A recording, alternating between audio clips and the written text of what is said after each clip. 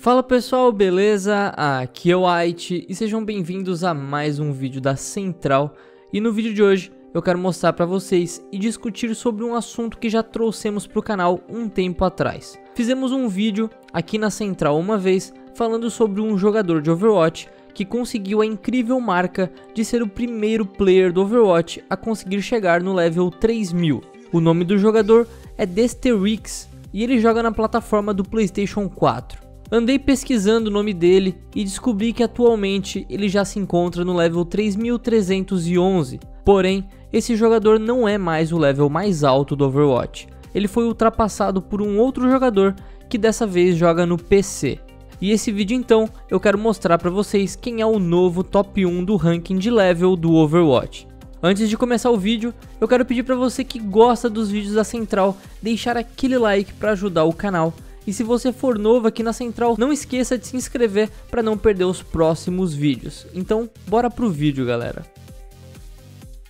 Bom, pessoal, quem nunca esteve jogando Overwatch e quando estava na tela de escolha de herói, se deparou com algum jogador com uma borda de level diferente. Geralmente a gente encontra pessoas com a borda de prata e raramente alguém com uma borda de ouro. Aí você pensa, nossa, esses caras jogam demais, eles devem jogar 24 horas por dia. Apesar de borda de prata e de ouro ser muito, mas muito legal, existe já pessoas com borda de platina, que são level 3000 mais. Eis que mostro a vocês o que realmente é um cara que joga Overwatch o dia todo. O novo top 1 do ranking de level do Overwatch é chamado de Tree Boy Dave. Ele é um jogador de Overwatch do PC e pelo site Master Overwatch ele é da Europa. No momento ele tá level 3375, quase pegando level 3400. E como você deve ter percebido, ele ultrapassou o antigo top 1 por mais de 60 levels já. Esse jogador já tem as incríveis 9435 vitórias. Ele já teve tudo isso de vitórias. Imagina quantas partidas ele já deve ter jogado no Overwatch. Você também pode ver que o ranking dele no momento é ouro, ele é 2000, ele é ouro. E eu até quero falar com vocês sobre isso depois, mas vamos continuar vendo aqui o perfil dele. Agora chegamos na parte incrível e que vocês vão se espantar. O top 1 level do Overwatch, ele não tem um main hero.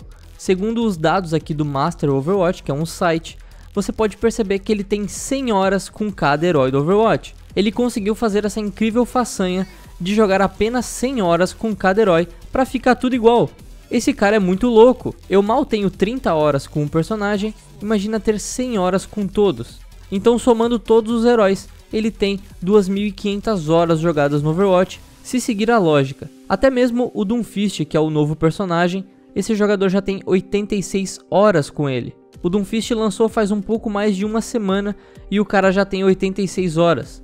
Esse cara é uma máquina de fazer XP no Overwatch. Se ele joga sozinho na conta, a gente não sabe pode ser uma conta compartilhada entre irmãos ou até mesmo um share entre amigos. Eles podem revezar o tempo de jogar para manter um level alto na conta. Não tem como saber, mas que essa conta é incrível, não tem como negar.